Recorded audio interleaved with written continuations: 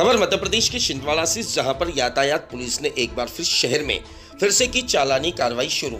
छिंदवाड़ा यातायात पुलिस द्वारा शहर में चालानी कार्रवाई की जा रही है। आज चालानी कार्रवाई पर यातायात पुलिस द्वारा बड़े एवं साथ ही साथ छोटे वाहनों पर चालानी कार्रवाई की गई, जिसमें बिना नंबर प्लेट व साथ ही साथ ओवरलोड वाहन शामिल है।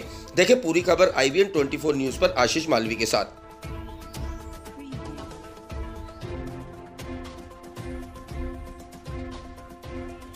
देखिए कार्रवाई तो सतत चलती रहती है। आज स्पेशली हम लोगों ने सिग्नल्स चौराहे जहाँ पे मैं लगे उन पे अलग अलग स्थानों पे कार्रवाई की। एक सत्कार तिराहे पे, एक इंदिरा तिराहे पे और एक यातायात चौक पे। इसमें हम ऐसे वाहनों को हम लोगों ने कैच किया है या पकड़ा है, जो या तो बिना नंबर के हैं या मोबाइल पे बात करते हुए वाहन चला रहे हैं या जिनने रेड लाइट को जंप किया है। ऐसे वाहनों पे कार्रवाई की जा रही है।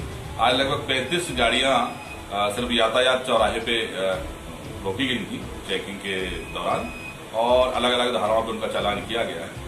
ऐसे ही सरकार तिराहे पे ग्यारह गाड़ियाँ और नौ गाड़ियाँ पे कार्रवाई की गई इंदिरा तिराहे पे। क्योंकि अब ठंड का समय आ गया है, लोगों, ये दुर्घटनाओं का महीना है। मेरे लोगों से अपील है कि वो जब भी वाहन चलाते हैं तो रोड साइन को का को देखते हुए और यातायात नियमों का पालन करते हुए वाहन चलाएँ, ताकि किसी प्रकार की दुर्घटना से बचें।